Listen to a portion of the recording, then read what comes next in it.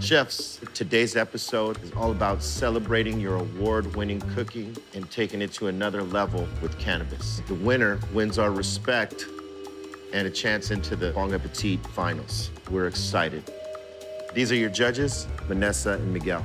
Good morning, chefs. Hey, guys. Hi, I'm Vanessa Lavorato, the founder of Marigold Sweets, and I've been making edibles for almost a decade. Hey, chefs. My name is Miguel Trinidad. I'm one of the founders of 99th Floor, and I have two Filipino restaurants in New York, Maharlika and Jeepney. I'm really excited to see what you guys are gonna do.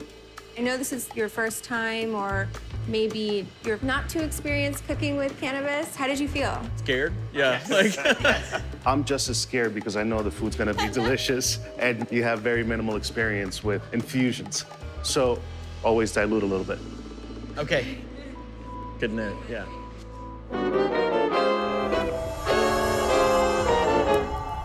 You're gonna use your infusions along with three high-end mystery ingredients in the hot box. You must use them all. There's no elimination in this particular round, but the winner will get an advantage in the next round. And to my surprise, as well as yours, a little bit later on, George Clinton will be here to help us judge. Okay. The godfather of funk is here. Are you ready for the funk? I don't know if I'm ready, but I'll bet you bet I better get ready. Well, let's get it cracking. You have 30 minutes. All right, let's go. Let's go. Oh, nice. So in the hot box, we have black truffles Gold leaf. and caviar, and they have to use all of it. Fancy. Jesus. This is by far way fancier than I thought we were gonna be working with. Dale. Yeah. I was pleasantly surprised with what I found under there because you just never know. It could have been, I don't know, like beef testicles or, you know, it really could have been anything.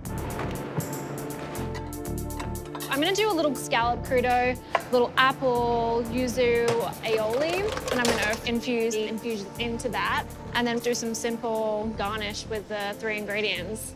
I'm gonna channel my inner 2 Chainz, rock this gold leaf. I'm gonna take this salmon and very lightly cook it. We're gonna serve it glazed in a little bit of this roasted honey, and then kind of make like a cornbread blini.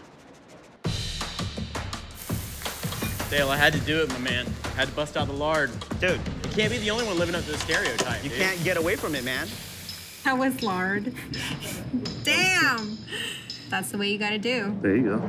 So how are you guys infusing your cannabis? I'm, I'm actually grating it straight into my tartar. Well, that's a way to do it. Yeah. I actually just chopped some up. I'm gonna kind of use it as a garnish here, so we'll see how that works. I'm gonna go like a Japanese route. I'm gonna take the pickled OG leaves and almost make like a wrap. I'm taking some of the pickling liquid that has THC honey, CBD oils, and I'm using that as a seasoning agent for the tartare. I'm looking forward to Dale's dish because you have that funkiness from the OG and the funkiness from the fish sauce. You said all the right things. He was like, yeah, I wanna get funky with it. And then we're like, hey, George Clinton's coming, so. He's on the funk. It's George Clinton, bro. it's like, do fries come with that shake? True OG for a true OG. Should we watch them plate? Let's go get them. Let's do it. You guys are in the zone, we're in the hunger zone. Dale, you've been tasting. We saw you. I have, and I'm starting to feel like I've been tasting.